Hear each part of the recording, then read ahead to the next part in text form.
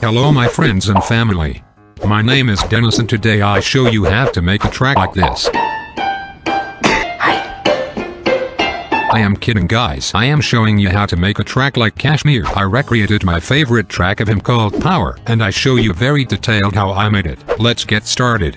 At first as always I recreated the melody and chords with a piano to get the foundation of the track so we can build a badass track later on.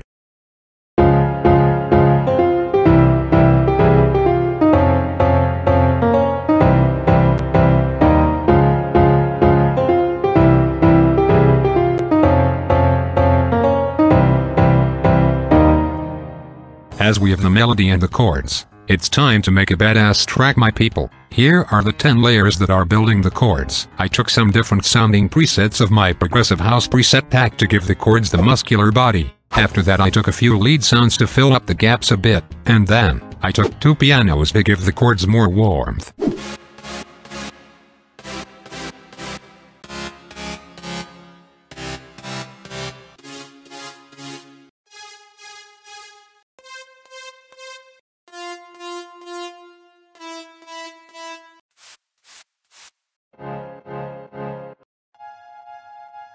This is how they sound together.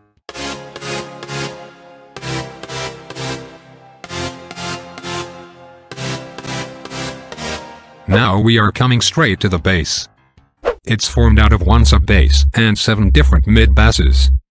For the mid-basses I took out the low frequencies.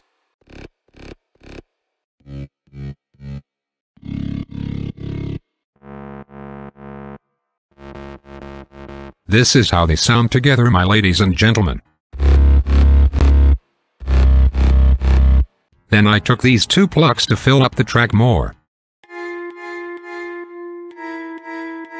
Then as always, I took a cello from Nexus and strings from Edirol Orchestral, to give the track a bit background harmonics. Then, I took a nice sounding pad of my progressive house preset pack to make the atmosphere thicker. Now we are coming to the lead.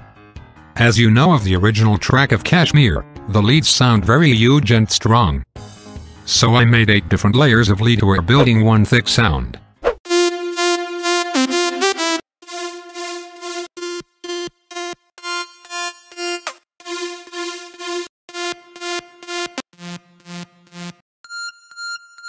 This is what they sound together.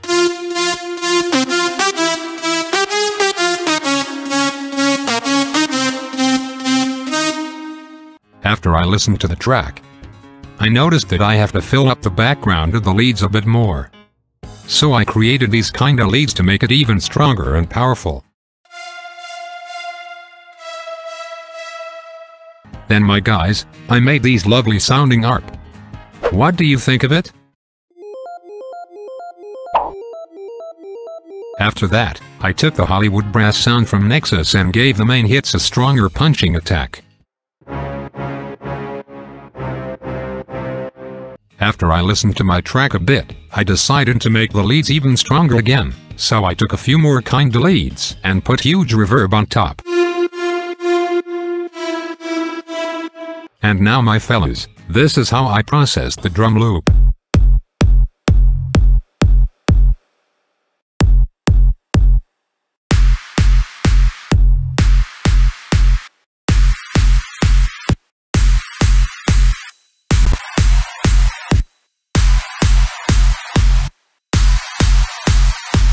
Now we are coming to the build-up. I am honest here with you guys. For the build-up I was kinda lazy on this one. I just took a few uplifter sounds and built up drums, plus I automated the lead melody and chords with a top filter.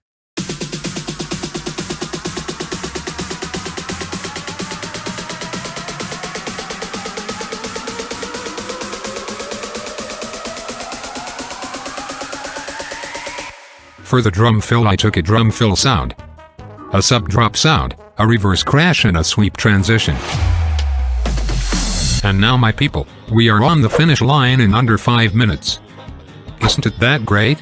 Before we listen to the track I have to tell you that you can get all the presets I used on this track in my Progressive House preset pack on my Sellfy store.